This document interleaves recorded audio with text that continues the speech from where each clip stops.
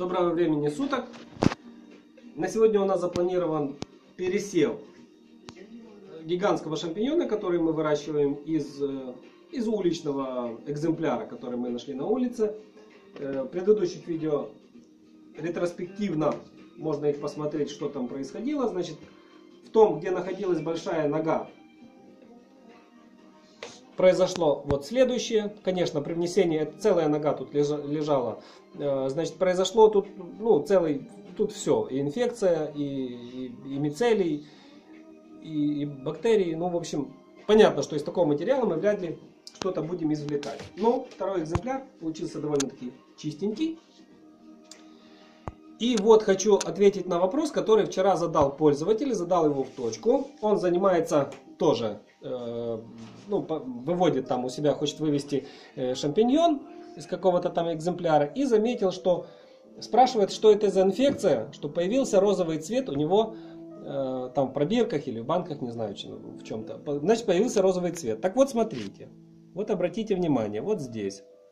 Очень хорошо видно вот эту вот этот цвет. Я бы сказал, он не розовый, он скорее всего, он цвета марганцовки. Вот это не фиолетовый, вот как синий, но и в то же время он не розовый. Он скорее всего вот марганцовочный такой вот цвет.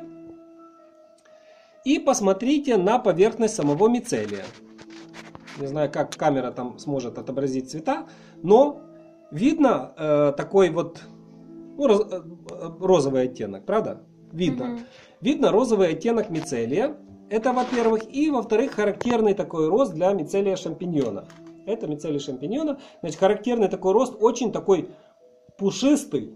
Он синтепон напоминает. Вот, действительно, по внешнему виду Мгм. довольно-таки отличается от вешенки. Если вешенка растет такими древообразными такими какими-то узорами, то здесь он растет вот просто такой синтепоновой ватой, да, как облако. И имеет, чем дольше он растет, имеет четко видно такой фиолетовый оттенок. Вот это характерная типа специфическая такая реакция, такая ферментация именно мицелия шампиньона, чем отличает его от роста других мицелиев. Э, Вешенка не дает никаких оттенков, э, обыкновенная вешенка. Розовая вешенка дает красный цвет, но это совсем другой будет оттенок. Лимонная вешенка цвета вообще никакого не дает, то есть будет белый мицелий.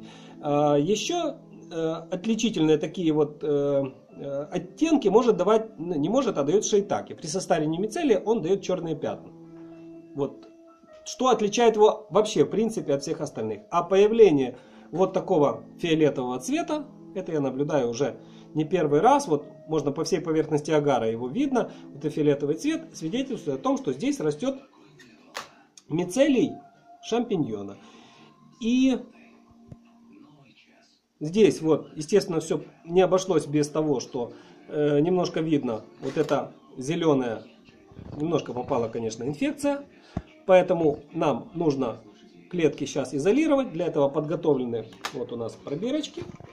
И сейчас мы сделаем 5 отсевов непосредственно вот этих клеточек для того, чтобы вывести чистую культуру гигантского уличного шампиньона.